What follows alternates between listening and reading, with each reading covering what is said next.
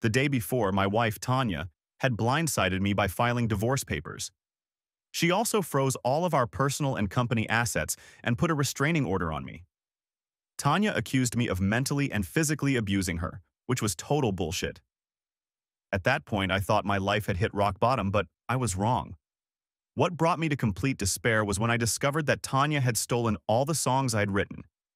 Some of them had great sentimental value, but now they were gone. I knew she would destroy my originals as soon as she transcribed them in her own handwriting. It was very depressing. But that was yesterday. Today, however, when I woke up, I was no longer tormented by self-pity.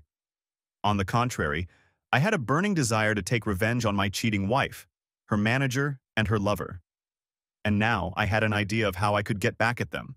And for that matter, it would give me back my self-respect. One of the things that made my blood pressure skyrocket yesterday was their attempt to keep me in New York for a few days. It was only later that I realized it was for two reasons. Not only did they want to humiliate me, but Tanya and Todd wanted time to get back to Atlanta and carry out their plan. I was sure they wanted to record the stolen songs and spread as many lies about me as possible.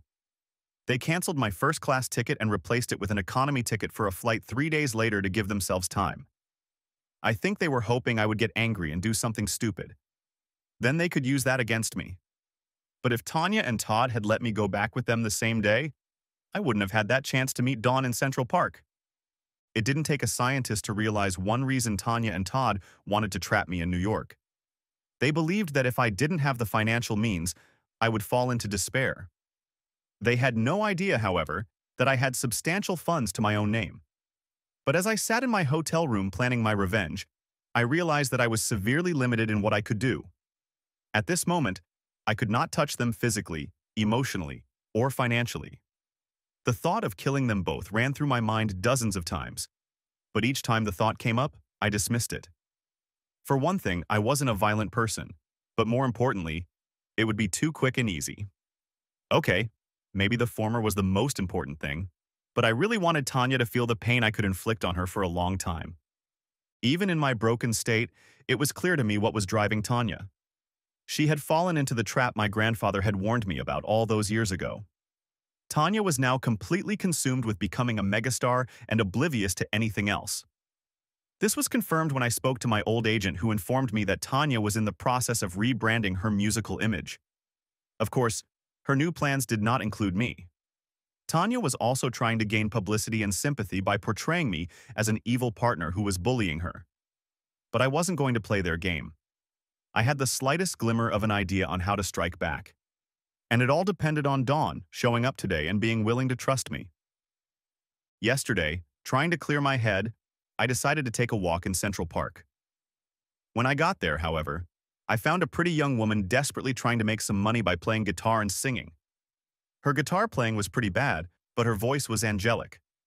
On a whim, I decided to sing with her for a while, which turned into a mini concert. While I was singing, a plan occurred to me. It was a crazy plan, but it was probably the only way I could get back at Tanya. If possible, I was going to sabotage her new number. Furthermore, I was going to try to make myself a bigger star than she could ever be. In order to do that, however, I was sure that Dawn was the key to my half-crazy plan. If she didn't show up, I didn't know what I was going to do because I had no way of contacting her. I didn't even know her last name. Despite my deep anxiety about whether or not she would show up at 10 o'clock, I was full of renewed energy. The whole time I played and sang with Dawn, I didn't think about Tanya. But that night the pain and self-pity came over me again, and the tears flowed again. But when morning came, the thought of playing my music made the self-pity evaporate. I took a quick shower, ate breakfast, and headed outside. I found a music store that opened at 9 and bought myself a guitar.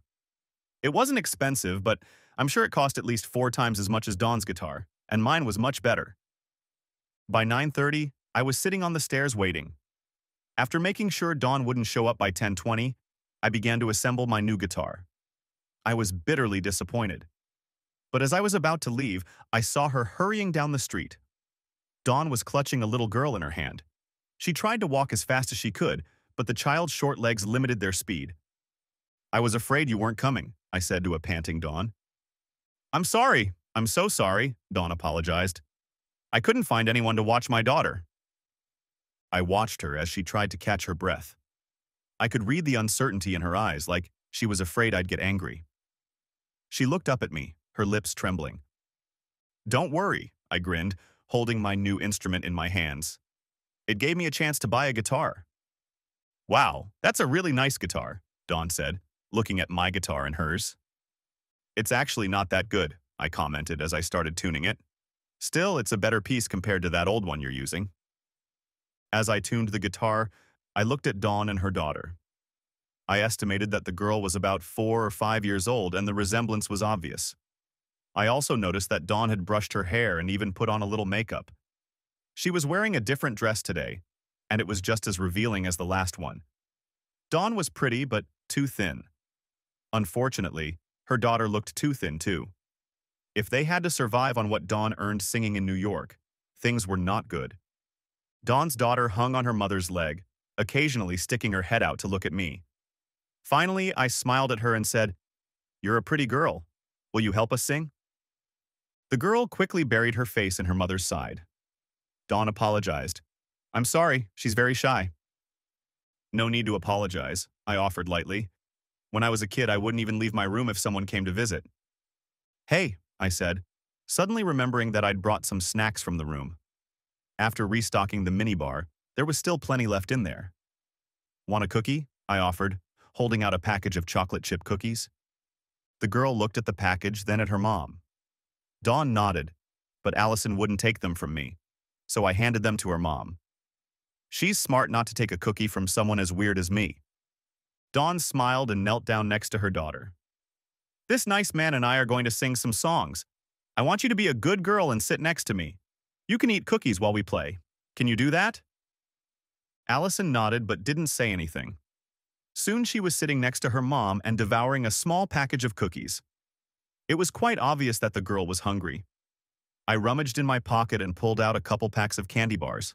I tossed them to her. Here, I don't know if you like candy bars, and it's okay if you don't. Dawn opened a new package and whispered in her daughter's ear. The girl nodded, looked at me, and smiled. Thanks for the cookies. My pleasure, I said, returning the smile. And I still think you're a beautiful girl. The girl giggled and buried her head in her mom's leg again. Before we get started, I'd like to introduce myself, I said with a smile. I'm Robbie Wilder, and you are? Dawn blushed slightly. Yeah, I don't think we introduced ourselves yesterday. I'm Dawn Samuels, and this is my daughter Allison. Now that we're done with introductions, let's sing, I said, starting to strum my guitar.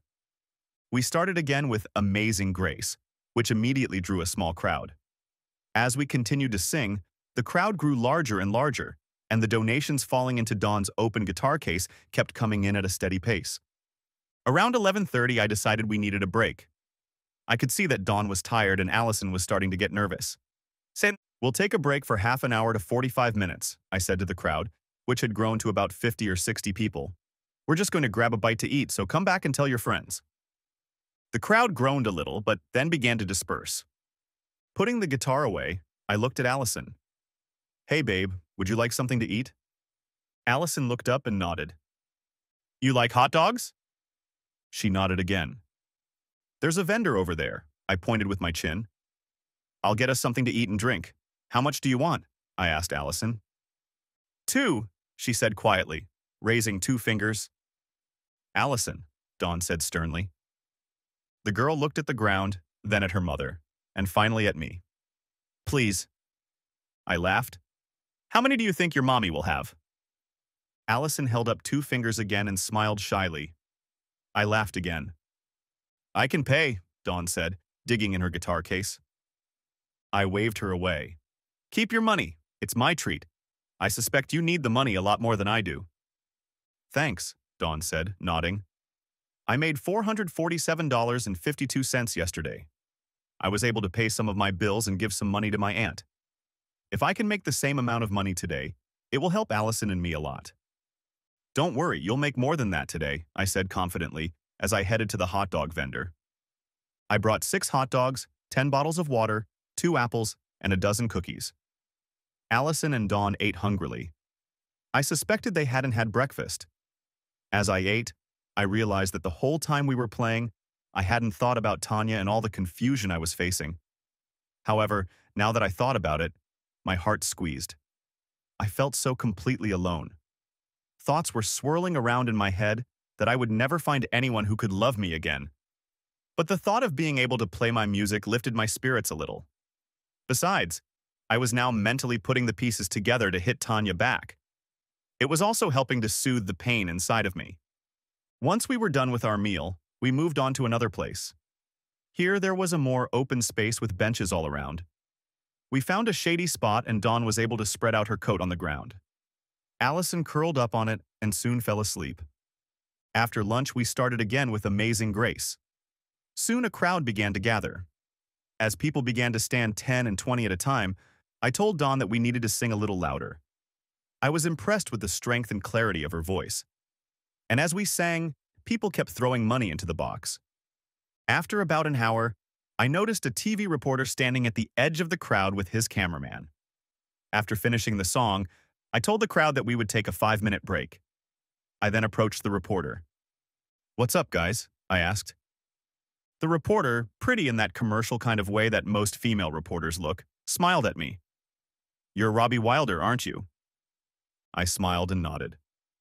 My bad. Is it true you and Tanya are getting divorced? I remembered what I'd been told to do to change the version Tanya was probably going to put out. I shrugged. Unfortunately, it's true, but it's not my choice.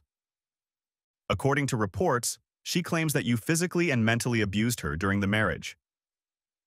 If you're interested in the truth, I said, struggling to contain my anger. You should talk to all the people who have worked beside us over the years.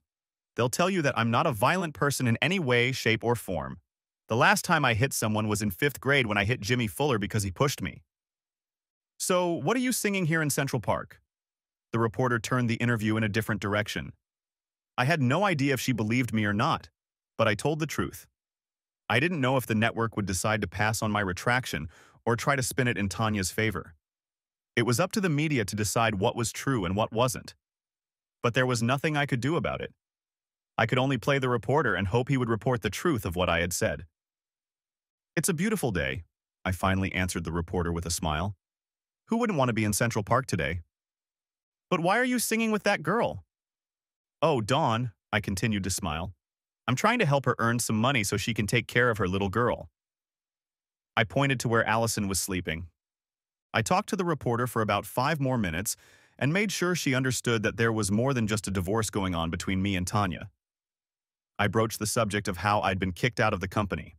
And for extra convincing, I added that Tanya had canceled my plane ticket to fly home on the same flight and replaced it with a ticket three days later. After the interview, I went back to playing and singing with Dawn. Around 2.30, Allison woke up and was hungry. That's what I bought the cookies for. She was happy as a clam, eating her chocolate chip cookie, drinking water, and listening to Mom and I sing. By 3 o'clock, the crowd had grown to a hundred people, and then the police showed up. They said we had to call it a day. Everybody blames the police, and nobody more than the NYPD. And some of them are justified. But the two police officers who told us it was time to call it a day were very nice. They kept apologizing and telling us we could come back tomorrow, but if the crowd got too big, they'd have to shut us down again. I gave each of them a bottle of water and a cookie. I assured the two policemen that it was not a bribe. They laughed and wished us well. I was glad that the policeman didn't know who I was and treated me like any other person. I took Dawn and Allison out to an early dinner. When they put down our plates and gave Allison the crayons, she melted our waitress's heart. Allison asked in a tiny voice if she could color one of the pictures on the mat. Allison said she would only color one and leave the rest for someone else. The waitress brought three more crayon mats and told Allison to color whatever she wanted. The waitress even brought Allison a special dessert that she didn't charge us for. During dinner, I briefly told Dawn about an idea that had been running around in my head all day. I hoped that I could organize a new gig with the two of us. Dawn was very hesitant at first. I kept insisting that it would be a way to make some money to take care of her daughter. Finally, Dawn gave up and said she needed to talk to her Aunt Claire. I didn't know if Dawn was just trying to brush me off, but I understood her. This was a very big decision for her. I mean, I was asking her to turn her life and her daughter's life upside down to follow me to Atlanta. I told her that I would go along with whatever decision she made. In addition, I told her that I still had a lot of details to put together. And if I couldn't get it all sorted out, at least I would leave her my new guitar and $500. But if I can get it all sorted out, then she and her aunt will have to decide if they want to come back to Atlanta with me and take a chance on my plan. I told her I'd call her in the morning. If they weren't interested, the guitar and $500 would still be at Dawn's house, and I would fly back to Atlanta alone. After three hours on the phone that night, however, all the pieces fell into place. Even Alex was in agreement. He wanted to get back into the music game, and his doctor had cleared him to work. Alex also informed me that Todd had announced that Tanya would be releasing two new songs the following week. I was sure they would be the same two stolen songs. But there was nothing I could do about it because the copyright on the songs was not protected. The thought that Tanya was going to profit from her betrayal only fueled my anger. I wanted to destroy her so badly that it would be my driving force for years to come. Now I was chasing stardom with all my might. If my grandfather was trying to reach me from the other side of the world, I certainly wasn't listening to him. In the evening, I watched the newscast and was pleasantly surprised. Apparently, they had done a real investigation.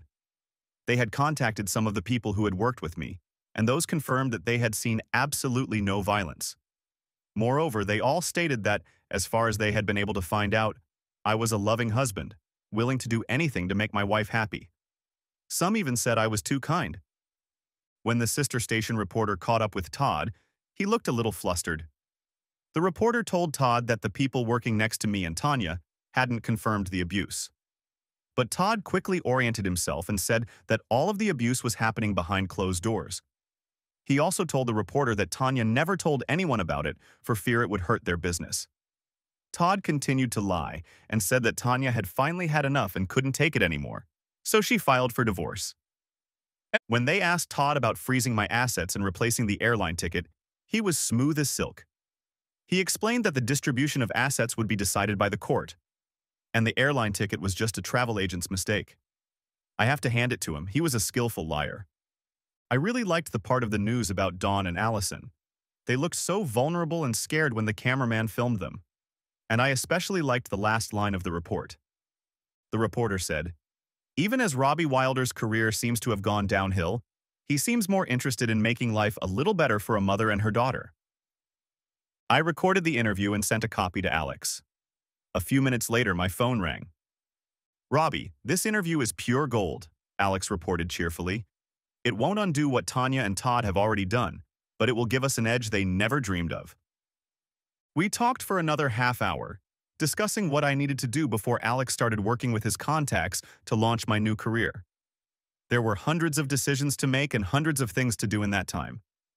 But in order to get my revenge, there was still one important thing to settle. I had to convince Dawn and her aunt that I wasn't some creep and that my plan was real. So, the next morning I called Dawn and she invited me to New Jersey to meet her aunt. The cab driver going to New Jersey was very nice, a nice New Yorker. I tipped him well. I had to do some searching, but I found their apartment, which was a little old. Still, the grounds were well maintained, although the neighborhood was a little dirty. I've seen worse. The apartment itself was simple, with two bedrooms and one bath. The living room had a couch and a few pieces of furniture. One bedroom was larger, with a bed and dresser. The second bedroom only had a queen-sized mattress and a few boxes that held Dawn and Allison's clothes. Robbie, this is my aunt, Claire Samuels. Dawn introduced me to her aunt. She's my mother's sister. Claire was a beautiful woman in her early 50s. There were strands of gray peeking through her brown hair, and her face had more than one or two wrinkles. Nevertheless, her eyes were bright, and her smile was charming. I learned a little more about Dawn and her life. Dawn's parents had both died. Her father was in a car accident when Dawn was 15. Her mother died two years later from cancer. Dawn was married for a short time. She didn't want to talk about her ex-husband, only saying he was possessive and mean. It became clear to me that the last few years had been very difficult for Dawn. It took an hour of explanation, but eventually both women understood and agreed. In fact, it was Claire who had finally convinced Dawn that there was nothing for her and Allison to do in New Jersey or New York. In fact, Claire said there was nothing for her there either. She asked if she could come with us. I was thrilled at the idea, and my aunt's presence seemed to allay Dawn's fears a bit. Now, it took two more days for Claire and Dawn to finish their business in New Jersey, and by 3.40 in the afternoon, all four of us were on a plane to Atlanta. Even though it was just under two hours away, I was already getting impatient. Ideas were flooding my brain. There were hundreds of little things to take care of, from getting Dawn, Allison, and Claire settled into booking studio time. I also needed to buy Dawn a new guitar, decide on a new name, and, most importantly, start training Dawn as a professional singer. Fortunately, Alex would be there to help do much of what needed to be done. My plan was simple. Since Tanya had suspended me from our singing show, I was to create an entirely new show with Dawn as my new partner. I was going to start slow and then develop our show, hoping to reach the top of the entertainment world.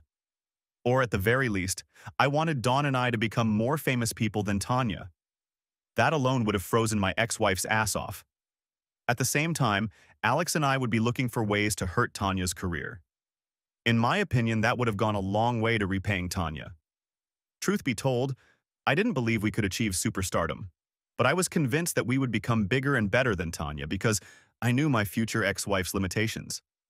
I discarded my grandfather's advice without a second thought. And I intended to work my ass off for everyone to get us where I wanted to be. I didn't care who I had to cross to reach my goal, but I had no idea what the price would be or who would end up having to pay. Part 5. For most of my career, I never wanted to be a celebrity, so I always let my wife, Tanya, be the face of our band. I also never considered myself an entertainer. To me, I was just a guitar player who also loved to sing. If people wanted to listen to me, that was great, but I was just as happy playing and singing on my own. But then my wife tried to destroy me personally, professionally, and financially. Now I was involved in an all-out fight to get revenge. Tanya had betrayed me, humiliated me, and tried to destroy my career. If that wasn't enough, she also tried to cripple me financially and stole all the original copies of the songs I had written. Sure, a lot of those songs weren't that good, but they were mine, and some of those songs had great sentimental value to me. Also, I was convinced that my two new songs were very good. I've learned over the years that if you work on something for a long time, it usually turns out better. That's what happened with my songwriting.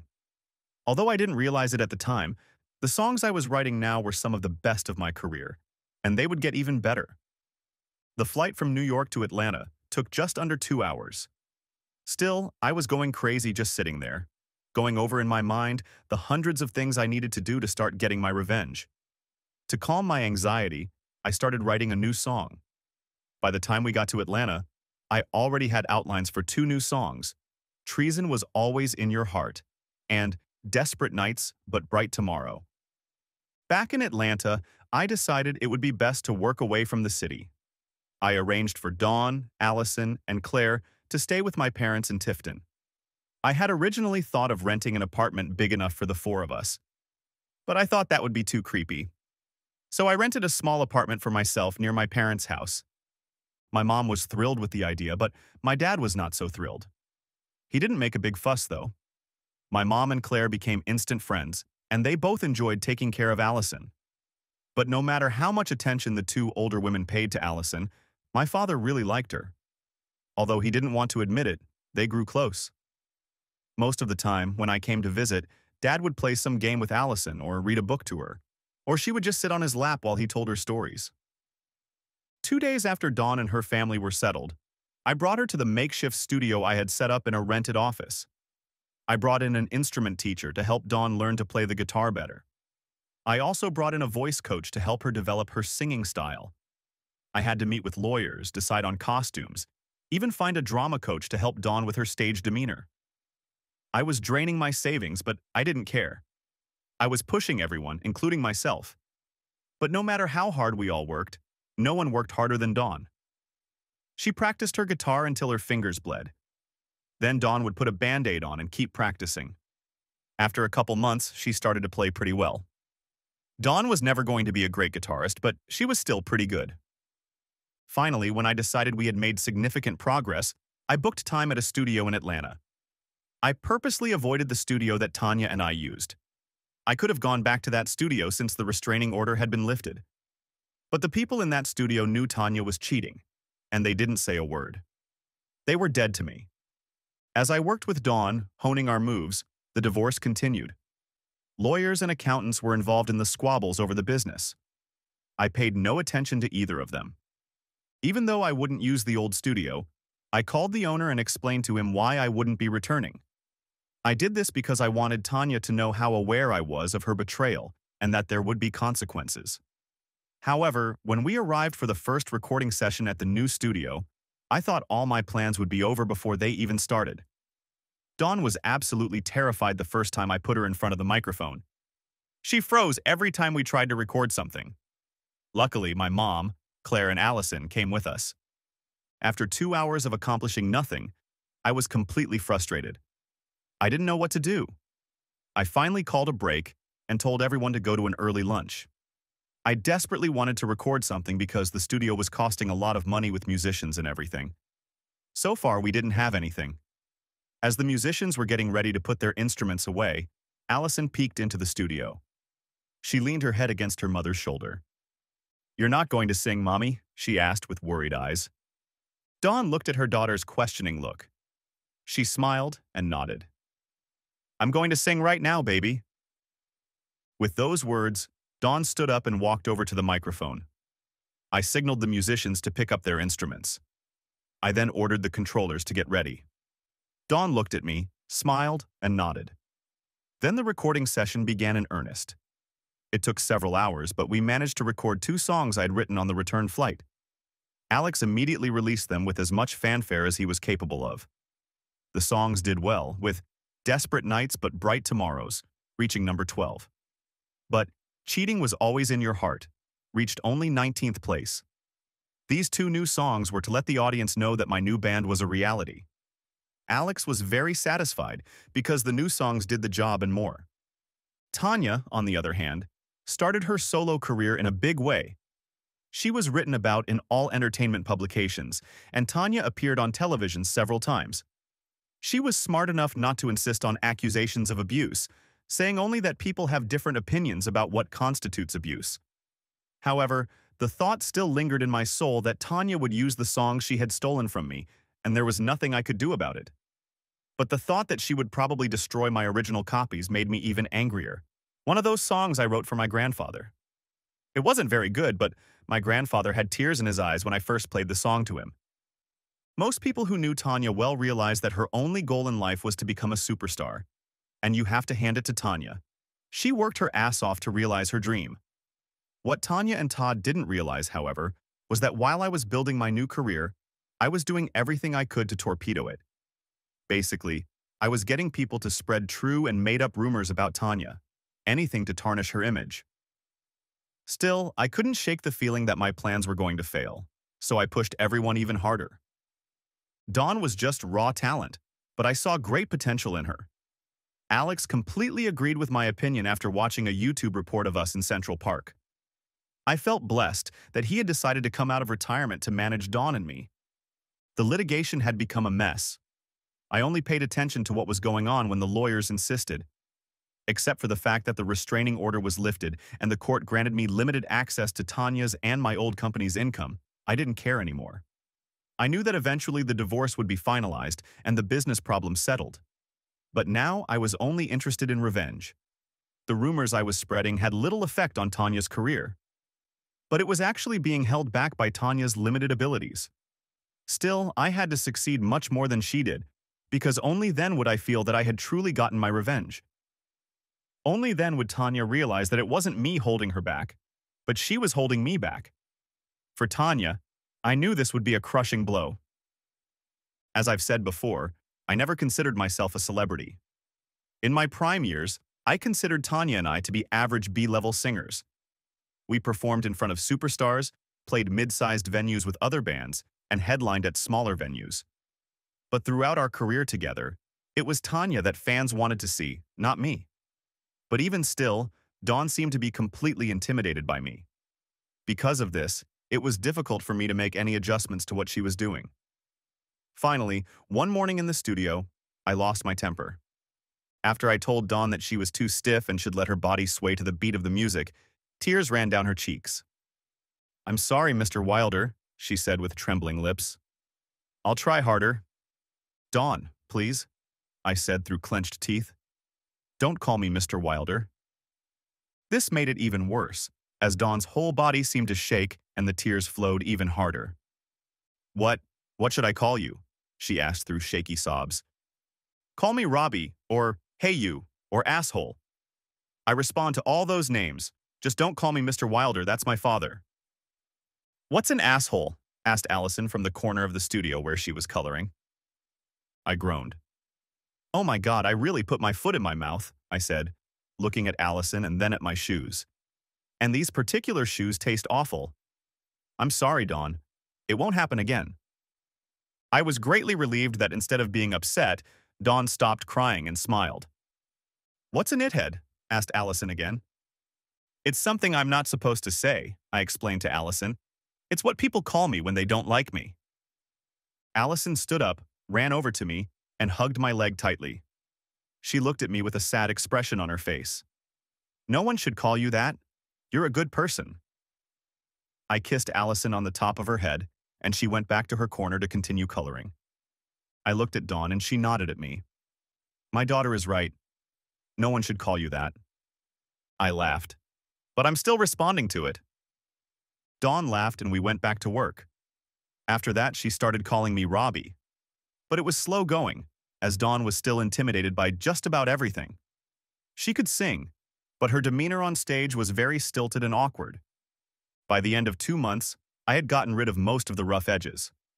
The rest was to come with time and experience. I gave Dawn a list of lines she could say during the show, and I myself played off of them and tried to make her look witty and warm. Finally, I decided that in order for Dawn to get better, we needed to perform in front of a live audience. So after discussing it with Alex, we decided it would be best to start the show where Tanya and I had started, at Big Carl's restaurant. Alex arranged everything, and Carl was delighted. To my surprise, the bar was full that first night. I had hoped the bar would be half full, like it was when we started with Tanya. Dawn was terrified and threw up shortly before we started the show. I wish I could say that once Dawn got on stage, she relaxed. But she wasn't. She was like a deer ready to bolt at any second. So I took over and just left her in the background, interacting with the crowd. I lightly touched on Tanya's problems and my own. Then I made a few harmless jokes a few times at Tanya's expense, and then told how Dawn and I met. I painted a picture of finding this beautiful flower in dirty, disgusting New York City. I told them that New Yorkers could be the coldest people in the world, but when Dawn started singing, they stopped and even smiled. Yeah, ladies and gentlemen, it gives me great pleasure to introduce you to the Central Park songbird, Dawn Samuels. Polite applause broke out. Just like Central Park, I said softly to Dawn, bringing her forward. Then I began to play Amazing Grace. When we finished, the hall exploded with applause. Dawn only smiled shyly and nodded her head. Eh, about a third of the way through our performance, Tanya and Todd suddenly appeared. We were in the middle of a song when people started murmuring and getting up to watch. Finally, Tanya proceeded to the table that was reserved for her. That asshole Carl didn't say a word to me. When I looked back at the bar, he was standing there smirking. I smirked back at him. I couldn't be mad after all. He had warned me that he couldn't be trusted. Instead of finishing the song, I asked Dawn to stop and made her back up a little. As Tanya moved forward, I realized I could use this appearance to our advantage. I'm sure Tanya and Todd thought they would be able to put us on stage and possibly unnerve Dawn. Well, we're honored tonight, guys. Tanya has decided to join us, I announced to cheers from the audience. Damn it, Tanya, you can definitely suck all the air out of a room. Tanya smiled broadly, and the audience applauded. When the applause died down, I pointed to a table of men in the far corner of the room. Tanya, don't you think that dress is a little conservative? I'm not sure those guys over there will be able to see your belly button. The crowd erupted into laughter. The smile never left Tanya's face, and she didn't back down. Is this part of your folk charm I read about? You know better, I said with a wide grin. You and I have had a lot of conversations, haven't we? And it was fun, as I recall. Only in your imagination, Tanya grinned. That drew laughter from the crowd. Oh, I replied, grinning even wider. Some might say it's mental abuse, but in hindsight, I think you're right. Maybe it was all just in my imagination. So, do you understand why I'm confused? Why you're here today? Tanya turned to the audience. She was so predictable. I just wanted to show you that there are no hard feelings. Our differences will be settled in court. And regardless, I wanted to wish you success in your new venture. And while we're on the subject of performances, I'd like to let your wonderful audience know that I'm starting my final tour. We start right here in Atlanta at the Cobb Energy Performing Arts Center in two weeks. Knowing what she was doing, I pounced. In this era of good feelings, why don't you come here and give these people a preview of your concert? Why don't you sing one of your old songs? Friends, you'd like to hear Tanya sing, wouldn't you? It was an unexpected treat for those gathered, and they responded positively. I'm sure these visitors came to see me out of curiosity. I had no doubt that many of them were wondering what I would do now that Tanya and I were no longer together. Besides, they didn't have to pay admission. But now they were about to see me and Tanya half reunited. Of course, I had more than that planned. I whispered to Dawn that no matter what happened between me and Tanya, she should ignore the whole thing. I also told Dawn that I wanted her to join in on the second song. Knowing Tanya, I was sure she wouldn't pass up such an opportunity. I didn't know what song she would want to sing. However, I wanted her to sing one song with me, True Love by Patsy Cline. I was also sure she wouldn't want to sing that particular song because it was our song together. But even if Tanya refused to sing it, Dawn and I would sing it, and it would have the same effect. After a moment's hesitation, Tanya nodded and headed toward the stage. Once she was there with microphone in hand, I started playing Pretty Little Girl. It wasn't one of our hits, but Tanya loved it. Tanya even smiled at me before she started singing. When she finished, the crowd eagerly responded. Before Tanya could do anything else, I said, Let's do another one. I immediately started playing True Love. Tanya looked unsure at first, but then she shrugged her shoulders and got ready to sing. However, when she and I started, Dawn joined in as well. This caused a roar from the crowd and a confused look from Tanya. As we continued to sing, I turned back and forth to Tanya and Dawn. Finally, at one point, when the song went, For You and I Have a Guardian Angel, I turned away from Tanya and smiled warmly at Dawn. The symbolism was clear to everyone in the room, including Tanya and Dawn. I moved away from Tanya, and Dawn was now my musical partner. When we finished, the room erupted into a roar. Tanya quickly thanked everyone and slipped away. The rest of the concert went very well, except that Dawn never relaxed or felt at ease on stage. The next day, the newspapers were full of praise for our performance. They especially talked about what a wonderful partnership Tanya and I had had. They regretted that we had broken up. But they wrote enthusiastically about Dawn and how she was a worthy replacement. I thought it was funny because the media never gave Tanya and I that much attention until we broke up. Nevertheless, I was extremely pleased that we had gotten such publicity. I think Tanya wanted to embarrass Dawn and me, crash our show, and promote her new tour. She only succeeded in one of those goals. But even that limited success was short-lived. The next day, Alex announced that we were starting our own tour at the Roxy in downtown Atlanta on the same day Tanya's tour started. Alex told me that Tanya had called him as soon as she heard about our tour and was rude to him. He only laughed it off. What Alex didn't tell Tanya was that he organized our tour so that about 80% of our shows were on the same day and in the same city as Tanya's shows. I followed the reviews of each of our concerts. I especially remember the review of Tanya's concert in Atlanta. It was very favorable, but the article talked about how sad they were that Tanya and I were no longer together. Yet, when I read the review of Dawn and I's concert, it was also very favorable, but it didn't mention Tanya. That had to have given her ass a big kick in the ass. During the first tour, Alex had to book us gigs in smaller venues. The main reason was that Alex didn't think we could fill a large audience, and he wanted our tour to be successful financially. Some of the venues we performed in could barely hold 300 people. On top of that, we were warming up for some of the biggest names in the industry. The tour lasted 14 weeks and was very grueling. In the meantime, Todd invited Tanya to the big venues, and at first they were a big success. But by the end of the tour, they stopped selling out. Todd also turned down all offers to perform in front of any of the big-name stars.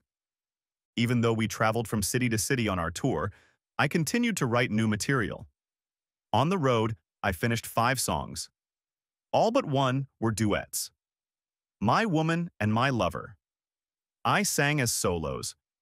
We started adding new songs to the shows one at a time. And when we got back to Atlanta, we got in the studio and recorded a new album that included all five songs. My Woman and My Lover began a steady climb up the country charts. It reached number two and remained in the top 10 for six weeks. A week after the album reached number two on the country chart, it moved to number nine on the Billboard pop chart. It took almost eight months, but now I'd say Dawn and I were definitely at the top of the B range. We may not have been superstars, but I was pleased with our ascent in the music world. During this same time, Tanya's star didn't really ignite, if at all. She was doing well, but Todd couldn't take her to the top of the mountain or even close to it. After one show, a reporter interviewed me and asked how I was doing after breaking up with Tanya. I replied that I was doing great, then the reporter asked what I thought about Tanya's new career. I knew he was catching a trick moment, so I answered him. I have no idea about anything Tanya is doing, I replied innocently. Is she still performing? Apparently, Tanya had seen my comment and had some nasty things to say about me during her next gig. Now there were constant disagreements between me and Tanya. I always left my comments in a joking way. Tanya, on the other hand, got nasty at times. It didn't help her at all. The lawyers were pushing us to finalize the accounting of our old partnership to close it down and distribute the assets. But when Todd took over the books, he changed the accounting system and it became difficult to determine anything. It was a complete mess. And by this time, I knew there was nothing I could do about the songs Tanya had stolen. I had finally come to terms with it. Nevertheless, I was sad that the song I had written for my grandfather was gone. While the corporate war continued, the divorce suddenly slowed to a snail's pace. The main stumbling block was still the same issue, Todd's accounting system. I was entitled to half of what we had accumulated during the marriage. However, Todd's convoluted accounting system made it extremely difficult to identify assets and their physical location. Todd had created dozens of corporations, and money was flowing from one to the next. My attorney had a CPA firm comb through all the records to come up with an accurate list of everything. And from what the accountants told me, Todd was no help at all. In addition, much of the information they were digging up was extremely painful. Eh, when the accountants checked the company's travel expenses, I learned that all those public relations trips Tanya and I had been sent on separately had been a smokescreen. I was led to believe that Tanya went on her trips alone and I was in another part of the country at the time. Todd was supposedly in Atlanta taking care of business. But Todd went on every trip with Tanya. Not only that, but they shared a room each time. They must have had a great time laughing at my stupidity. And yet, while my legal troubles dragged on, my professional career was as vibrant as ever. Our last album was going very well, and our concert schedule was filled through the end of the fiscal year. True, most of the concerts were open to other stars. Nevertheless, they were well paid. To top it all off, I was nominated for a Grammy Award for My Woman and My Lover for Best Country Song. I kept pushing Dawn and myself to be better and better, but I was starting to get concerned about Dawn. She was still struggling before each performance, and it took her a day or two to calm down afterward. I knew she was taking prescribed sedatives, but I had no idea how much the performances were affecting her. One day my mom brought Allison into the studio and pulled me aside with a stern expression on her face. Don't you dare hurt those girls, Mom warned me, pointing at Dawn and Allison in the studio. Mom, why did you say that? I was genuinely shocked by her comment. I would never hurt Dawn or Allison. Dawn is head over heels in love with you. My mother's eyes were like lasers nailing me in place. She's nervous because she's afraid she'll let you down. If I was surprised by her warning about hurting Dawn and Allison, I was completely stunned and at a loss for words at her declaration that Dawn loved me. They were both very dear to me, but I was almost 10 years older than Dawn. It never occurred to me that she would ever show any romantic interest in me. Besides, I wasn't sure I could ever trust another woman again. Mom, come on, I'm 10 years older than her, I finally protested. Dawn won't be interested in me. She'll find someone her own age. Mom shook her head with a tiny smile on her face. Robbie, you can be so stupid sometimes. That girl is hopelessly in love with you. If you'd pull your head out of your ass and stop trying to get back at Tanya for one second, you'd realize that. Besides, her girl considers you her father and loves you to bits. I continued to protest my mother's assertions until she ended the conversation, once again warning me not to hurt Dawn or Allison. When my mother left, I sat outside the studio and watched Dawn and Allison play with Allison's dolls. I had always thought Dawn was very pretty, but now I realized she was just beautiful. And Allison was like an angel. If I ever had a daughter, I would want her to be just like Allison.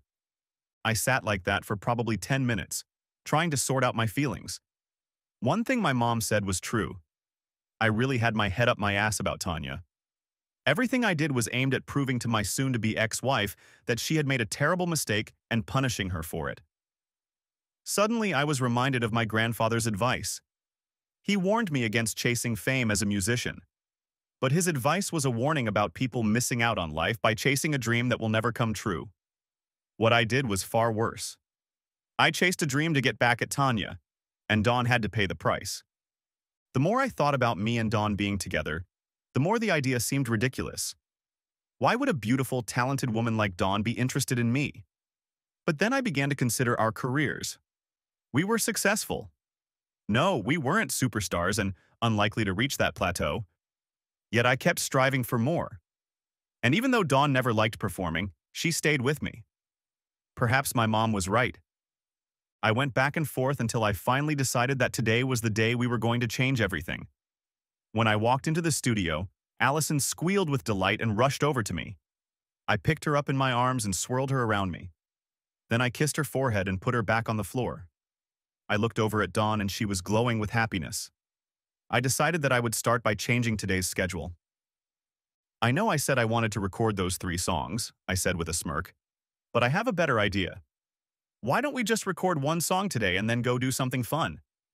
Doesn't anyone want to come with me to Centennial Olympic Park and have a picnic? I'd like to. I sure would. I'd love to, exclaimed Allison, bouncing in place. I looked at Dawn. How about you? Do you want to grab some hot dogs and go to the park? Her smile made my face all warm. Dawn nodded and said, That would be like that day in Central Park. That's exactly what I was thinking. We've been working too hard and we need to have some fun. Then I looked at Allison and said, if one little girl doesn't mind being very quiet, we can finish up quickly. But the recording didn't set up well. For one thing, the music track that had already been laid down turned out to be faulty. It took about 10 minutes to find a backup and have it ready. Then Dawn messed up the first two takes, and I messed up the third. At this point, Dawn burst into tears. You know what? said I, hugging her. Screw this song. Let's forget about recording it today. Let's try again on Thursday. Let's not waste this beautiful day. Dawn sobbed on my shoulder for a few minutes and then looked up. I'll be okay. We can finish the song. I could tell by the look on her face that she was afraid I'd be disappointed in her. So I did the first thing that came to my mind. I hugged her warmly and kissed her cheek. Then I turned to Allison. Why don't we leave it up to Allison? I said, still hugging Dawn. What do you think we should do? Do we stay here even if it takes all day to record this stupid song, or do we leave now and go to the park? Go to the park. Allison said it so fast that the words almost flowed together. Then we'll go to the park, I announced definitively. Before heading to the park, we stopped by Dawn's condominium where she now lived with her aunt. There she changed into Allison's clothes and got towels. From there, I headed to the original hot dog factory where I bought six hot dogs, a pack of fries, cookies, and a bottle of water. Our picnic started right after we found a nice shady spot to spread out a blanket. Once settled, I passed out the hot dogs and everything else. While Allison ate, her eyes never took her eyes off the many children running around the water fountain. Unable to restrain her daughter any longer, Dawn finally removed the girl's outer clothing, exposing her swimsuit.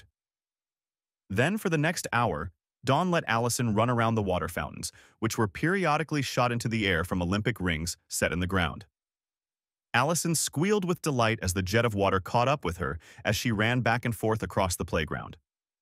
When Dawn decided Allison had had enough of swimming, she called her daughter back to the shady area and gave her a cookie. I decided it was time to figure out what Dawn wanted to do with her life. You're not really into performing, are you? I asked blandly. Dawn looked at me nervously. That's okay. I'm trying to figure out what we should do next, I explained. So tell me honestly, do you like performing? Dawn sat very still, looking at me as if trying to figure out what answer I wanted. I sat very quietly too, trying my best not to give away my preference in any way. After an awkward silence, Dawn shook her head, but then quickly added, But I'll perform for as long as you want me to. I had my answer, and I knew what I should do. I'm actually thinking of canceling our concerts for next year. We don't need the craziness of another tour. We both have enough money to last us for a while longer and we're still getting pretty good royalties. Tears suddenly ran down Dawn's cheeks. You're firing me? You're breaking up our business? No, not at all, I replied immediately, shocked by Dawn's reaction. The last thing I wanted was for Dawn to get the impression that I wanted to get rid of her.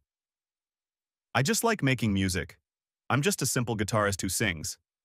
I get almost as much pleasure when I play guitar and sing alone as I do when I perform in front of thousands of people. It's all about the music. It fills my soul and makes me happy. Dawn looked up at me and sighed. I love to sing by myself or for the people I love. But big crowds freak me out. Before I could say anything else, our attention was diverted by a commotion in the park. Looking closer, I saw three black and two white teenagers harassing people. Mostly they seemed to be pouncing on the elderly because they were the most vulnerable. I hate bullies, so I immediately stood up. Eventually, they stopped on one elderly gentleman and had already plowed him to the ground. Robbie, no, Dawn pleaded as I jumped to my feet and headed to the man's aid. You're going to get hurt. If I'd thought about what I was doing, I probably wouldn't have done it. I'm not a fighter and only know the bare minimum about self-defense. But like I said, I hate bullies, and I knew most of them were cowards. So I confronted the largest of the teenagers, who seemed to be the leader. Leave the gentleman alone, I said calmly but firmly. And what the hell are you going to do if I don't? The large black teen said, pulling a knife out of his pocket. He didn't press the button to open it, but maybe that was because I immediately kicked him with all my might. I grabbed the knife and flicked it open. I had no intention of getting into a physical altercation. My plan was just to get the older gentleman away from trouble. But now I was in it, and I expected the other four to pounce on me. But almost at the same time, the other men came running in with me. When I looked around for the other four teenagers, I saw only their backs. They were running as hard as they could away from their friend and away from the park. In the short time it took to help the older man up, I was shaking like a leaf. While I was gathering my thoughts, several ladies led the man over to a bench. A moment later, Dawn was in my arms, sobbing on my shoulder. Allison clung to her mother's leg and cried. You could have been killed she repeated over and over. I reached down and picked Allison up on my hip and rested her head against my shoulder. Shh. It's okay, I said as calmly as I could. Nothing happened. I don't know what I'd do without you, Dawn said, and kissed me on the lips. I kissed her back and hugged them both. I looked around. A crowd was starting to gather around me. I knew that eventually the police would show up and I would have to answer a bunch of questions. I was relieved that no one recognized us yet. We had to get out of there. I gave the knife to one of the men who had come to help and told him I was taking my family home. As I started to pull away from the park, I noticed Dawn was still shaking from the collision with him. As I looked in the rearview mirror, I saw that Allison's eyes were fixed on me and her lips were trembling. Dawn, are you and Allison going to be okay? I asked, looking in her direction. Claire is going on a bus tour with my mom and dad. That means you'll be all alone tonight. You still look really upset. Dawn shook her head. I was just really afraid you might have gotten hurt or even killed. Look, why don't we just have a picnic at my house? I suggested with a smile. We'll stop at your place so you can get some clothes. Then we'll stop and get something for dinner. It might be best if you stay at my place for the night. I can set up a guest room for you and Allison. Would that be okay with you? Yeah. Dawn nodded her head up and down and a smile appeared on her face. Then she turned to face Allison. Allie, would you like to spend the night at Robbie's house with your mom? A squeal from the back seat of the car nearly shattered my eardrums. Yes, Mommy. It'll be like a sleepover. Once we got to my apartment, we watched a couple of Disney movies, ate Chinese takeout, and then I led them to my guest bedroom. That night, after Dawn and Allison retired to their bed, I went to my room and crawled into bed. I guess the encounter in the park had knocked more energy out of me than I thought. Anyway, I fell asleep in less than a minute. In the night, I was awakened by a stirring on the bed. It was Dawn. At first, I didn't know what I was supposed to do. Maybe now was the time to find out if Dawn and I were going to have something more than just a musical partnership. Are you sure you want to do this? I asked cautiously. Robbie, I started falling in love with you the second time we performed in Central Park, Dawn said, caressing my face. You were so nice to me the first time we played, even though I was so suspicious. And I have to admit, it was mostly the money that attracted me on the second day. But then, when I was late because I couldn't find anyone to watch Allison, I was overcome with panic that you wouldn't be there. When I saw you standing there with a warm smile on your face, I thought my heart would burst with joy. And then you were so kind and patient with Allison. Until she met you, Allison didn't know a single man who wasn't mean to her. Her father was always yelling at her. There's nothing special about me, I protested. And if your husband was yelling at Allison, he must have been a real creep. Allison is as sweet a girl as you've ever met. How could anyone be unkind to her? He was worse than a creep, but I was afraid to leave him, Dawn said, with a hesitation in her voice. Eventually, I got fed up when he hit Allison with a belt. I was horrified. Did you go to the police? Yes, and he was arrested, but he didn't last long in jail. But during that time, I was referred to legal advice and got a divorce and a restraining order. Then I went to live with my aunt. But she was having a hard time supporting herself. Even with financial aid and food stamps, it was very expensive to live in New Jersey. I was so scared and depressed until you sang with me that first day. When I got home and realized how much money you had helped me make, I was happy for the first time in months. I was finally able to pay some bills. And you promised to sing with me the next day. That night, I slept peacefully for the first time in months. Since then, you've always been there for Allison, for me, and even for my Aunt Claire. How could I not love you? Besides, when we were at the park today, you told everyone that we were your family. Well, so you know, I said, stroking her hair. I really do love you and Allison very much, and I want to take care of you both for as long as you'll let me. It will be forever, Dawn said, kissing me. The next few months were hectic and stressful, but I was the happiest I could ever remember being. I loved the way Dawn's face lit up when I walked into the room. And Allison became my special little buddy.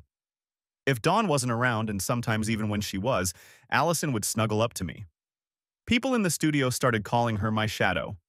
Uh, over the next few weeks, as the lawsuits continued on their winding path, my relationship with Dawn grew stronger and more loving. I reduced our workload and told Alex to cancel all the concerts after the Grammys. He was a little disappointed, but not too disappointed. I told him we would still do one or two concerts a year and maybe even do a TV special if requested. We also promised to keep recording new songs. As the Grammy date approached, Dawn looked more and more tired. But we would finally do one last concert, and after that, Dawn could rest for a week before the award ceremony, and then we would end the year. We usually ended each concert with Patsy Cline's old hit True Love. Before we started the song, however, I decided to do something I had been thinking about for weeks. Once the crowd had more or less quieted down, I got down on one knee and pulled a small box out of my pocket. Opening it, I revealed a two-carat diamond ring. Then I asked Dawn to be my wife. Her mouth opened and she screamed, Yes! Then I wrapped her in my arms and kissed her tenderly. The crowd went wild. When we separated, the crowd was still cheering. We smiled and waved at each other for a few moments, and then we started playing our last song of the evening, True Love. The song was very special that night. Months after that performance, I was revisiting the video, especially the footage of the people in the audience. I didn't see many dry eyes, now that meant we had planned to get married two months after the Grammys. But a few months ago, we decided to leave Atlanta in the rearview mirror. Neither of us liked living in or near the big city. We talked about moving back to Tifton, but my parents had recently moved to Florida. We decided to follow them and bought a house in the center of the state. It was about a half-hour drive from Orlando. About a week after we settled into our new home, all the litigation came to an end. As I expected, everything was going to be split 50-50. All that was left was for the accountants to finish the audit. My lawyers apologized for not getting more, but I was ecstatic. The fight was over and Tanya disappeared from my life. But when the accountant's report came out, it was a bombshell. Todd had embezzled about $2 million. The accountants finally got their hands on Todd's records to expose the thief. Not only was Todd arrested, but Tanya immediately began divorce proceedings. Although Tanya's career was in no danger, her big dream of rising to the top with Todd crashed and burned. You'd think I'd be ecstatic, but I felt sad and tired from the whole mess. Besides, my own life was on the verge of collapse and I didn't even realize it. Part 6 When the news of Todd's betrayal of Tanya became public, you'd think I'd be ecstatic, but that wasn't the case. I mean, I couldn't have planned a more perfect revenge than to have Todd steal a big chunk of Tanya's money, and having the man who stole my wife from me go to jail. Not only that, but my cheating ex-wife's career took a major hit. The next day, another Tanya-related scandal broke. Allegedly, Todd stole songs from young songwriters and forced Tanya to record them. One of these songs had a good success and made it to 14th place. To make matters worse for Tanya, there were doubts as to whether she knew about the thief. I should have been over the moon about Tanya's fall. But really, I was just sad for her and for myself. Grandpa's words were now rattling around in my head. I'm sure the loss of money had hurt Tanya, and the song scandal had tarnished her reputation. But I was sure what really hurt her was the realization that Todd had used her and hadn't helped her career one bit.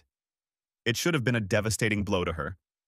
But for me, it was just a passing thought. I didn't love Tanya anymore, and while I was sad for her, I wasn't going to lose sleep over it. Now that Dawn and I were engaged, my main concerns were centered on my future wife and my future daughter Allison. I was a little sad to wind down our activities, but I would gladly trade any music career for the love of Dawn and Allison. Unfortunately, I had been pushing everyone for so long that the very moment I found true happiness, disaster struck. When we finished our last concert, it was obvious that Dawn was completely exhausted. I had to admit that I was exhausted too, so I suggested we skip the Grammys and just rest. But to my surprise, Dawn really wanted to go. When I asked her why, Dawn smiled and said she wanted to see all the celebrities. I couldn't help but laugh. However, the Grammys turned into a nightmare and my whole life started to spiral out of control. I had planned to return to the studio as soon as we got back from the tour. However, Dawn was so exhausted and suffering from bowel problems that I told her to rest. I also insisted that she go to the doctor for a checkup. Our GP diagnosed diverticulosis and prescribed antibiotics, bed rest, and a change of diet. Dawn did all of these things and it seemed to help her. While Dawn was recovering, I recorded the song, Please Say You'll Love Me Forever. I had hoped to record it with Dawn, but because of her health problems, I recorded it as a single. When Dawn rested and got better, I decided we could record it as a duet. Anyway, when it was ready, Alex released it as a single. I thought that if we won a Grammy, it would give the song a boost. However, that didn't happen. The day we were supposed to attend the Grammys, Dawn complained of a stomach ache, and I again suggested we skip the event. Dawn said she would take an antacid, but we would definitely go. I was incredulous, but agreed to go on the condition that Dawn rest all day until the awards ceremony. She did. So, the night before the big event, we were both dressed to the hilt. I was wearing a tuxedo, and Dawn was wearing a beautiful light blue dress. Before we left, I turned on the TV and tuned it to the channel that would be broadcasting the Grammy Awards. I told my parents that Allison could stay until 9 o'clock at night. I hoped she would at least see us on the red carpet before the event started. As we pulled up to the theater, I noticed that Dawn was pale, but she insisted that we go in. I should have tempered my fervor and asked the driver to take us to the hospital. When I suggested this, Dawn refused, but agreed to drive to the emergency room. When we were about halfway down the carpet, we were asked if we would do a little interview. Dawn readily agreed because she knew that at home Allison would be chained to the TV. But when the reporter asked his first question, Dawn turned pale and started to give up. I quickly grabbed her and lifted her into my arms. Rushing back outside, I hoped to find our limo, but it was gone. Luckily, I ran into a police officer and asked him to call an ambulance. Five minutes later, we were on our way to the nearest hospital. Dawn disappeared into the hospital corridor, where I was not allowed in. Instead, I was directed to a waiting room. I had never been so scared and confused in my life. All I could do was pray and cry. About two hours later, my parents and Claire arrived with a wrapped and sleeping Allison. My mom hugged me, and I cried on her shoulder for a long time. When there were no more tears left, I picked Allison up and cuddled her to me. Three hours later, the surgeon came out to see us. He explained that Dawn's intestines had ruptured. About four inches of the lower intestine had to be removed, and Dawn would have to wear a colostomy bag for several months. But right now, their biggest concern was the infection that had already spread to her abdomen. If they couldn't deal with the infection, Dawn would die. Around 6 in the morning, Allison woke up in my arms and hugged me. Where's Mommy? she asked, looking up at me from downstairs. Your mom is very sick, I tried to explain in a voice choked with emotion. The doctors are trying to fix her. Allison put her arms around me. Mom told me that you're going to take care of us now and keep us safe. So as long as you're here, I know Mom will get better. I got upset again and must have scared Allison because she started crying too. At this point, Mom took her away from me, and I just sat there in a daze. Shortly after that, a nurse in medical clothes showed up. The doctor said you can see your wife for a few minutes. I didn't bother to correct the nurse and tell her that we weren't married yet. I was afraid I wouldn't be allowed to see Dawn. She looked so small and fragile lying in the hospital bed. I couldn't believe the number of IVs through which antibiotics had been pumped into her. As I crouched next to Dawn's bed and took her hand, she opened her eyes and smiled weakly at me. How are you feeling? I asked. About as good as you look, I think, she replied in a broken voice. I love you, I said, kissing her hand. I love you too, Dawn replied and went back to sleep. And they told me I could come over again in the afternoon. So I gathered up my parents, Claire and Allison, and we headed home. My mom made us breakfast, but I wasn't very hungry. Allison insisted on eating her breakfast sitting on my lap. When Allison went to bed around 9.30, I fell asleep. I slept for seven hours. When I returned to the hospital alone, Dawn was already awake but looked very pale. For three days, Dawn had a high fever, and she slept most of the time. I was afraid she was going to die. Finally, on the fourth day, the fever broke. After that, she got stronger and stronger every day. Eventually, we were able to take her home. Dawn needed help because just getting out of bed was very difficult. Her abdominal muscles were cut, and you don't realize how much you use them until you can't. The next four weeks were very difficult for Dawn, and she was in a lot of pain.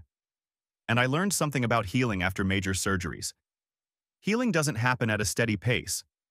You can have three good days in a row and then feel like you haven't recovered at all. But gradually, you do get better. There were days, however, when Dawn would fall into a deep depression and start crying.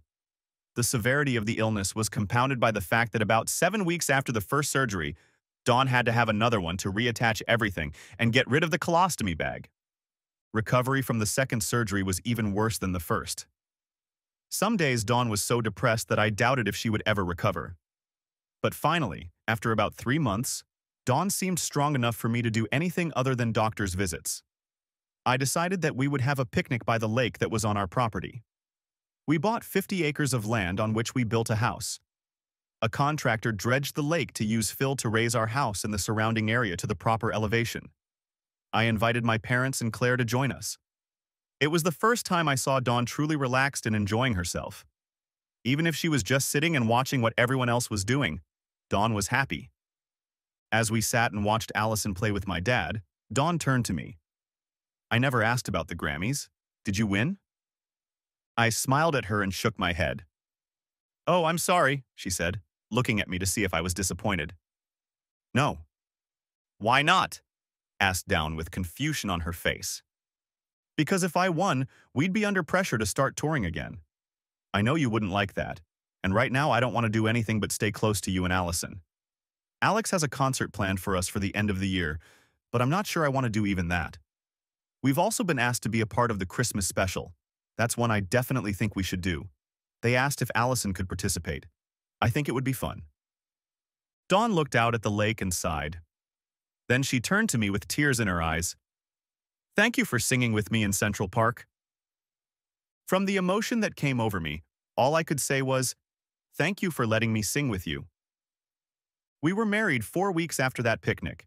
It was a small service on our patio with only immediate family and close friends in attendance. I can't explain it, but that wedding made me happier than I had ever been in my life. I was even happier than when I married Tanya. I guess I always felt like Tanya didn't feel the same way I felt about her. I guess deep down, I was always afraid she would leave me. When that happened, it was probably the saddest day of my life. But as they say, when God closes one door, he opens another. Tanya closed one door and Dawn opened a new one for me. I was so consumed with Dawn and Allison that I didn't pay attention to anything outside of my family. At the reception, we were asked if they wanted to share anything with us on their wedding day. Alex stood up and said that my single, Please Tell Me You'll Love Me, went to number one on the country charts. He also said that the song had crossed over to the pop charts and was at number four. Our guests screamed with delight, and Dawn showered me with the longest and most passionate kisses I had ever received. Alex wanted us to hit the road again, but I flatly refused.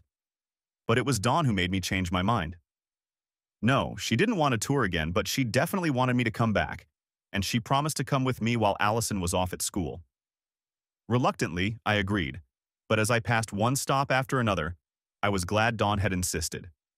Wherever I performed, whether in a small nightclub or a large arena, I was greeted by enthusiastic, sold-out crowds. Sometimes Dawn would join me on stage to perform a song or two. When she did, the audience roared approvingly. But that was very rare. Still, I loved her for it.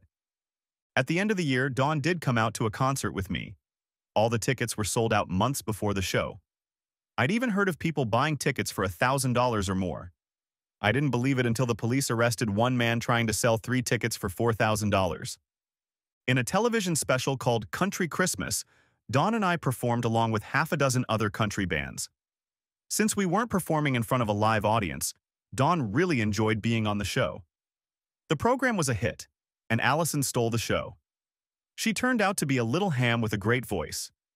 The program first aired in mid-December, but it was so popular that it was rebroadcast twice more before Christmas. Right after that, the offers came pouring in for Allison. Dawn and I strongly disagreed. We weren't going to let the glitz of show business ruin our daughter's childhood. However, when she turned 16, we let her record her first single. It went platinum in no time. However, Dawn and I were unanimous in not allowing Allison to tour until she turned 18. Nevertheless, we made concessions and allowed her to perform every year. We allowed Allison to join us for the country Christmas show.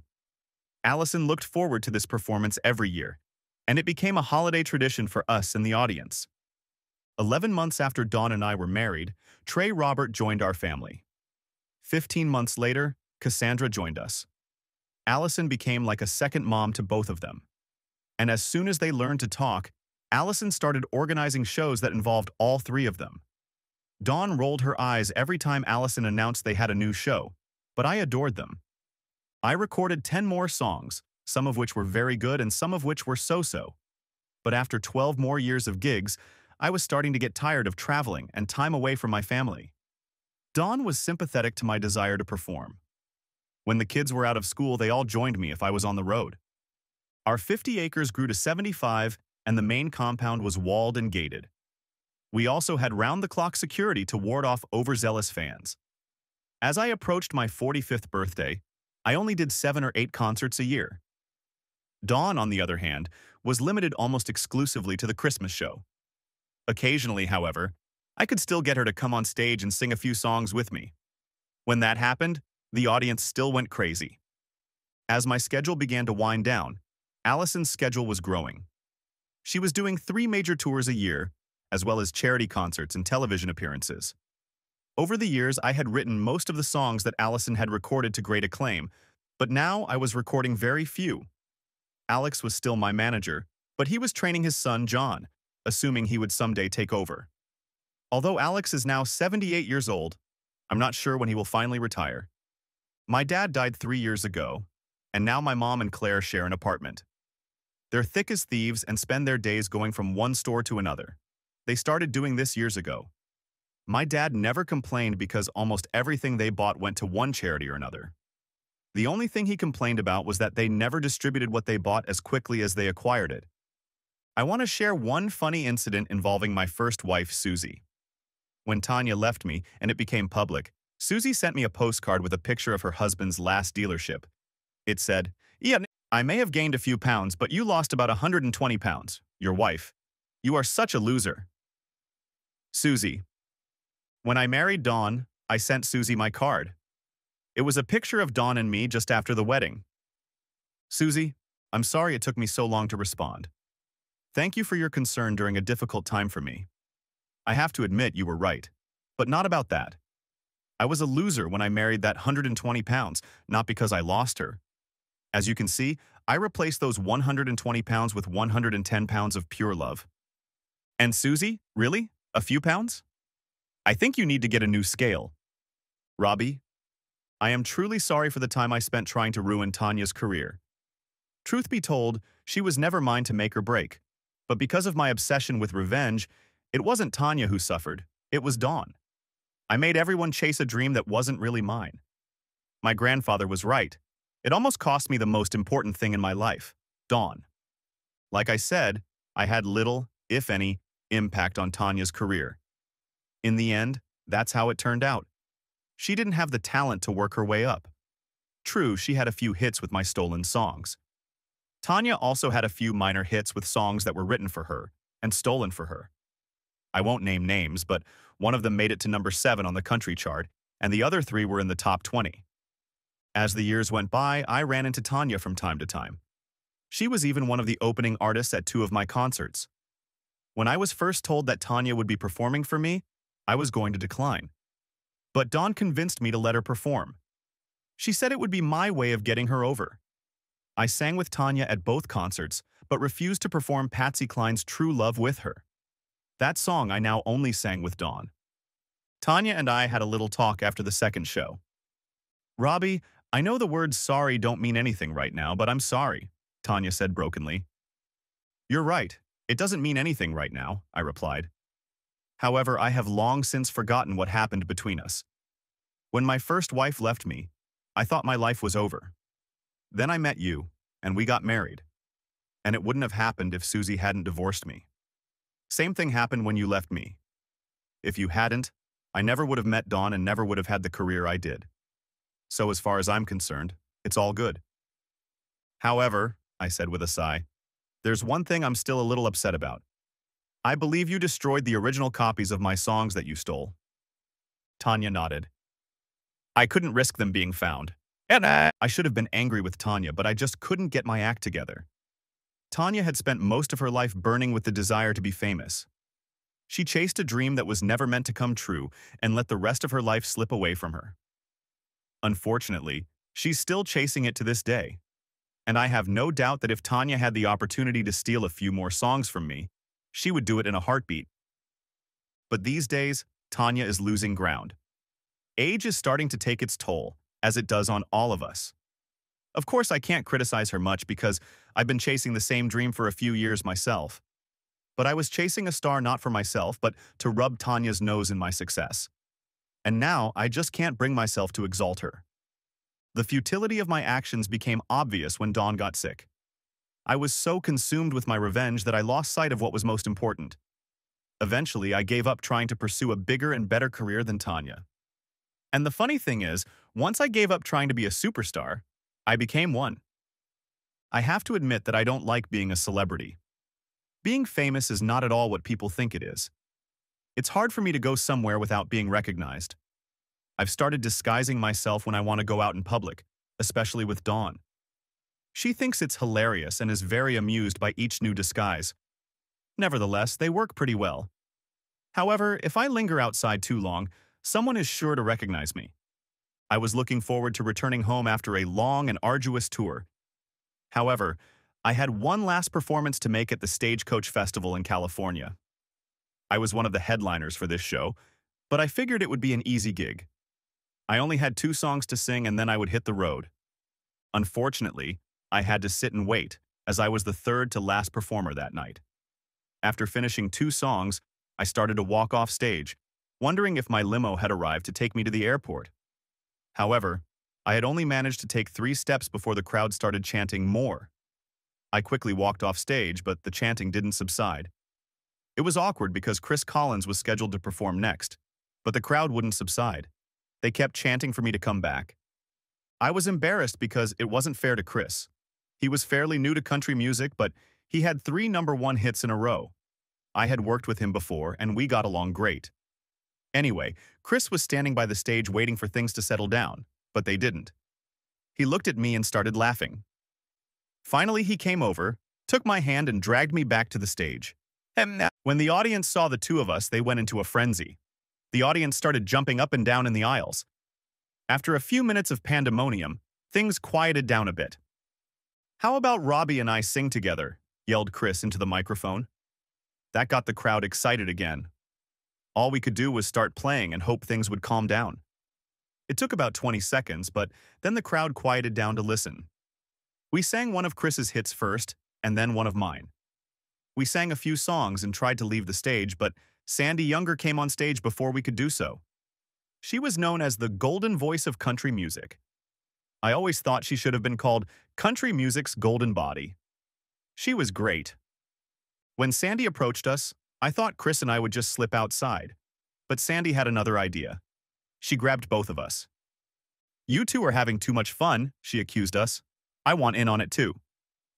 That sent the crowd into an even bigger frenzy.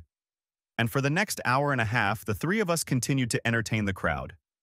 We alternated between playing our own songs and singing together. Sometimes it was just two of us, sometimes all three of us. By the end, I was exhausted and drenched in sweat. Chris was in a little better shape than me, but he was covered in sweat too. I don't know how she managed it, but Sandy looked as fresh as she did the first time she first came on stage. After the show, all the performers and support people gathered at the hotel where we talked and drank for two hours. It was past midnight when I finally made it to the plane I had hired. On the way home, I tried to sleep. I, I arrived home around 7 in the morning, the day before my 45th birthday. I was groggy and spent the next 10 hours trying to catch up on my sleep. When I woke up and finally got dressed, everyone was out on the back patio. Dawn was preparing a barbecue dinner, and I got there just in time. Glad you could make it, honey, she said, kissing me passionately. Oh, disgusting, Daddy, Trey stuck out his tongue. Get a room. We have a room, Dawn said with a smirk. It's at the beginning of the stairs on the right. We'll be using it tonight. Oh my god, Mom, Trey shouted. TMI, TMI, TMI. What do you mean too much information? asked Cassandra, standing up next to her brother. Nothing for the ears of the baby in the family, Trey smirked, looking at his sister. Stop calling me a baby, Cassandra slapped her brother on the arm. You're only a year older than me. Fifteen months, Trey corrected. Okay, you two, just calm down, Dawn chided them. I laughed and grabbed a plate, filling it with spare ribs, coleslaw, beans, and cornbread. I also grabbed a beer and settled in at the far end of the patio. Our house stood on a hill overlooking 75 acres of land. Since we had purchased it, we had expanded the grounds. Not only did we now have a pool and tennis courts, but we also had a basketball court. There were ATV trails and a three-horse barn. We expanded our man-made lake to accommodate a motorboat and sailboat tied to the dock. And the only thing Dawn didn't make a fuss about was the pool. She fought over the horses, but Allison desperately wanted them. Ever since she was a little girl, Allison had loved horses. I finally convinced Dawn to let me buy one horse and hire a riding instructor. I told my wife that eventually Allison would get tired of caring for the horse and then we would get rid of it. Apparently, Allison never got tired of horses, so now we have three. To Allison's credit, she paid for the other two horses out of the royalties for her first hit song. Dawn said that the basketball court and tennis court would probably not be used after the first few weeks. At this point, Dawn finally admitted she was wrong. Trey and I often went out archery, and it wasn't unusual for me to find Trey and his friends playing pickup ball when I got home. Sometimes I would join them if the sides were unequal. I wasn't kidding myself. I couldn't keep up with those guys. But I could hit the ball. The tennis courts were a different matter. Cassandra got into the game after a year of tennis instruction. she became good enough to make the school team. But it was Dawn who used the tennis courts the most. She loved playing with Cassandra and her friends. She even got me used to it. And twice a year, we had a charity tennis championship. We'd bring in bleachers and Dawn would raise 40 or $50,000 for the event. It seemed like everybody wanted to participate except me. Of course, at the very beginning, Dawn informed me that it was impossible to refuse to participate. I am convinced that I was put on the program to be a comedian. All my kids learned to water ski at the lake, and Trey loved to swim. I can water ski too, but it's not something I'm really interested in. If the kids and Dawn want to do it, I'll go along with it. I love the ATV trails we have all over the property. We also have access to the state park ATV trails behind our property. Every 4th of July, I used to bring my old singing partners George and Simon and their families. I also brought George and Mabel with Tyrone and his family. They would stay with me for a week and it was all fun and exciting. And every night ended with cooking and singing. It was wonderful to have a loving family and such good friends. The years went by and I realized I was getting older because each tour was getting harder and harder. On the night of my 45th birthday, Dawn rented my favorite restaurant in Orlando. It was a private party with about 150 friends and family in attendance. Sometime during the evening, Allison handed me a guitar and told me it was time to sing for our dinner. We sang for about 20 minutes, when I was surprised by what happened next. Trey and Cassandra had been taking music lessons for a few years now, but I had been so busy I hadn't noticed how far they had come. I'd heard them sing when Allison put on music shows at her house. They both had nice voices, but they were timid and unsure when Allison put them to work. When Allison called a break, she told me to sit next to my wife in the front row. Dawn just pressed herself against me. I quickly realized that she knew what was going on. As for me, I would have to wait and see. The wait wasn't long when Trey and Cassandra joined their sister with their guitars. I expected Allison to take matters into her own hands at this point. So I was completely surprised when Trey took the mic, told some funny stories about his sisters, and then started a guitar solo. Stunned is the only word to describe my reaction. But as surprised as I was, I was shocked when Cassandra joined him and the two of them took the hall by storm. But that wasn't the biggest surprise that night. As the applause died down, Allison handed the microphone back and said that the three of them had written a special song for me. Cassandra started, Trey soon joined her, and Allison finally weaved her voice in. It was the sweetest music I had ever heard. As the words began to flow on their own, tears streamed down my face. I later learned that the song was called With My Father's Love. My three children recorded this song, which went to number one on the country and pop music charts. That night, I lay spooning with Dawn after making love for quite some time. I told her that I really enjoyed the birthday party, but I didn't think they could ever top that one. And so it was until my 50th birthday came around. In the weeks leading up to my 50th birthday, I took great pleasure in watching my children and wife bustle around, working on some plans of their own. From time to time, I would catch them holding their heads together. When I would ask what they were doing, they would just giggle. I probably would have paid more attention, but I had other concerns. I was doing things I didn't want my family to know about because they would be furious if they found out. On my 50th birthday, I discovered that they had planned a surprise brunch with 50 guests. Anyone who didn't know my family well would have assumed that this was their big birthday surprise. However, after an afternoon nap, I was informed that I had to be ready for dinner by 6 o'clock. My spidey senses quivered. I figured they were planning another awesome birthday dinner, but I was wrong. The limo was a new touch. One of those stretch models that allowed the whole family to be seated comfortably and uncluttered. The tinted windows made it hard to look out of and impossible to look inside. I thought it was a clever idea. Allison was such a big star that a quiet evening could quickly turn into a zoo if she was recognized. It would also probably turn into a zoo if they recognized me. We made great time as the limo whizzed back and forth through the many side streets until we pulled through a gate into a small parking lot. I didn't think about anything until the car came to a stop. Why did we stop? I asked, with a slight concern in my voice as Allison started to get out of the limo. She told me to follow her if I wanted to get my present. I wasn't surprised that my daughter had hidden my gift so that I wouldn't find it. It was well known in our family that I was a fan of going through presents, especially at Christmas. So I got out of the car and followed my daughter. Allison raced ahead and we struggled to keep up. It wasn't until we reached the stage that I realized we had entered the Mercury Center, the newest music venue in our area, from the back door. It struck me that Allison had decided to hide my gift right here because there was no chance I would ever find it. The rest of the family was laughing and joking around trying to keep up with my daughter. I finally spotted her in the center of the stage where the only overhead light illuminated her. Come out here, Daddy, she called out to me. Your present is right here. Grinning, I walked out to where Allison was standing.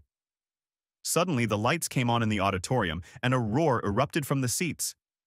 Twenty-odd thousand people rose to their feet, applauding. Then Allison's cheerleaders jumped on stage and began to play. Soon the entire audience was singing Happy Birthday. To me, as a large cake with 50 burning candles was rolled onto the stage. With the crowd still roaring at the end of my birthday song, Allison gave me a big hug and a kiss on the cheek. Cassandra and Trey were by my side a few seconds later, hugging me tightly. My parents hugged me too, as did Aunt Claire. Dawn then found herself in my arms and smothered me with a deep, passionate kiss. All of this caused more roars from the audience. As things began to quiet down, the doors opened and the sergeants brought in dozens of large, pre-cut birthday cakes and began handing them out. That drew even more applause. When I was a little girl, Allison said through the seething crowd, this wonderful man decided to sing with my mom in Central Park. This brought the crowd to its feet again and sparked another roar. Echoing the noise, Allison shouted out, I think you've heard the story. I'd like to start tonight with the very first song my mom and dad sang together. And then my family, including me, sang Amazing Grace. After that, we went from one song to the next. Sometimes Allison sang her hits, Sometimes I did. Cassandra and Trey added their hits as well as songs made famous by other performers. Trey and I performed Banjo Duel from the movie Deliverance. Even Dawn sang three songs by herself. I can never forget what a beautiful voice she has. The birthday concert went on for three and a half hours. Dawn and I ended the concert with the song Tour Love. When we finally left the stage, the crowd was still screaming, demanding a continuation. As we walked back to the limo, I felt so guilty seeing Dawn's face brighten. I prayed she would never find out about my secret life because it would crush her. A little over three months after my birthday concert, I was finally able to end the secret life I had been leading. In fact, our relationship ended consensually. I decided then that I was going to be the best and most attentive husband in the world. I swore to myself that there would be no more secrets between Dawn and me. That promise, however, I did not keep. Even though I knew it would devastate Dawn, I couldn't stop. For almost four years, I had managed to keep my secrets. And there have been some really good times over the years. I cut down my gigs to one or two a year. But every time a date for one of my concerts was announced, all the tickets were sold out within 15 minutes. Despite the reduction in gigs, I continued to write and record songs. I now had 28 platinum records, and 21 of them hit the pop charts. I also wrote songs for all three of my children. Four of them became number one hits for Allison. Trey and Cassandra each had two top five hits from songs I wrote. All three of my children got married. Allison married Alex's grandson, Daniel. Since Alex was my manager all those years ago, Allison and Danny practically grew up together. Danny was a great studio guitarist and had a pretty good voice. He was a backup singer for some of the biggest names in music, including my band. But Daniel wasn't interested in the entertainment side. He loved the business. His grandfather taught him everything about being an entertainment manager. Danny wanted to follow his grandfather and father into the business. As I learned over the years, many very talented and successful entertainers didn't really like performing. Fortunately for me, I learned a long time ago that I find it easy to connect with audiences. As I've said many, many times, it's all about the music. I'm just a guitarist who sings a little bit. Music fills my soul. And if others enjoy it, so much the better. Trey was one of those people who didn't really enjoy performing. However, that was not the reason why he gave up the activity. The reason he gave up performing was because of the name Jenny Tallow. Jenny was a professor at a local university, and Trey and his band were giving a concert there. At the time, Jenny was an advisor to the entertainment committee of the university's student senate. Apparently, there were numerous problems with the sound system, which Jenny frantically tried to resolve. However, after hours of negotiations with the union electricians, the sound system still wouldn't work. Trey watched Jenny's efforts with humor and sympathy. He had dealt with unions before and was sure they would do little to solve the problems. Finally, Trey pulled out his cell phone and made a call. 45 minutes later, a portable sound system was delivered and set up in the college auditorium. According to Trey, the union electricians were very angry that non-union employees had installed an alternative sound system. They threatened to file a grievance, but Jenny pulled both barrels. She told the electricians that they could do whatever they wanted. However, they would have to do it after they left the hall, or she would have them arrested. All six workers left with their tails tucked. According to Trey, he fell in love with Jenny that night, but it took him two months to get her to go on a date with him. A year after their first date, Trey and Jenny got married. About three months after the wedding, Trey quit performing. He didn't want to jeopardize his marriage by leaving home so often. Instead, he took a teaching job at the same university where Jenny taught. Trey was hired to teach entertainment business. He was only supposed to teach two classes a week. But his course is so popular that the university convinced him to teach two extra classes, and they are always full. Cassandra turned out to be our problem child. I think she has always existed in the shadow of her two older siblings. Unlike Trey, Cassandra loved to perform and had a great career. She may never reach the heights that Allison achieved, but Cassandra was definitely an A-list artist. As her career began to take off, Cassandra got a little wild. She got involved in partying, started drinking a lot and doing drugs. Thankfully, Cassandra didn't become a drug addict. And after a confrontation with Dawn, Sunday come to Jesus, she moderated her alcoholism considerably and stopped doing drugs altogether. Then things seemed to get better, but then they got bad again. Cassandra hit the road again, and her music career continued to grow. But then she met and hired Lance Talbot. I hated him from the first time I met him. Lance was the epitome of everything wrong with the music industry. He was a handsome lead guitarist with tons of charm, but no morals and a shitty voice. Cassandra fell deeply in love with him and married him in Vegas without saying anything to anyone. The marriage started falling apart almost from the beginning. Lance cheated on my little girl almost from the beginning. I guess he thought that by marrying Cassandra, he could take our family name to the top. And at first I did try to help him out, providing studio time, a voice coach, and even a few songs I wrote myself. But aside from being good-looking and a great guitarist, Lance was an empty shell. Eventually, he ran off with the lead singer of an up-and-coming band. Cassandra was crushed. But even though Lance ran away, he left something behind for Cassandra. She was pregnant. And a few months after that, it was discovered that all of my children were expecting a baby. The first to give birth was Cassandra's baby girl, whom she named Lacey. Two months later, Jenny and Trey had a boy they named Jason. A month after that, Allison and Danny had another baby girl they named Angelina. As much as I promised to put my secret life behind me, I couldn't. About 16 months after Cassandra gave birth to Lacey, I started again. This time, however, I knew Dawn would find out anyway. So I decided to come clean. Still, I wanted to spend one last night with my grandchildren. I was sure that after I confessed everything to my wife, my time with them would be severely limited, if they would let me see them at all. The whole family gathered at our house to celebrate Memorial Day. We set up cribs in one of the guest rooms, so all three little ones could sleep together. I took my guitar and recorder into their room. I told everyone that I was going to sing my three grandchildren to sleep. My family looked at me with loving smiles as I went upstairs. I couldn't help but think about how much they would hate me when I told everyone about what I was doing. But that would be tomorrow. Tonight was just for me and my grandchildren. As I started up the tape recorder, I looked at my three grandchildren who stood in their cribs, smiling and giggling as I strummed the guitar. I sang a few children's songs until they lay down and watched me through the cribs. Then, one by one, they fell asleep. While they were just falling asleep, I decided that I would sing songs that their parents had made popular and songs that Dawn and I were good at. I also decided to intersperse it all with funny stories about their parents, Dawn and me. Dawn. Tears ran down my cheeks as I read the last part of Robbie's journal.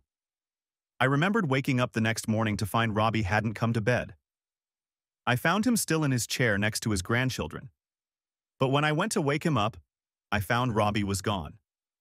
The coroner said he had suffered a massive heart attack during the night. Robbie turned out to be partly right when he learned of our reaction to what he had been doing in secret. We were terribly saddened and disappointed when we found out what Robbie was doing, but only because it was a secret he wanted to share with us. The secret that Robbie was so afraid I would find out about was that he had cancer. He had successfully fought it when it was first discovered. However, the cancer had returned. At the same time, it was determined that Robbie needed open heart surgery.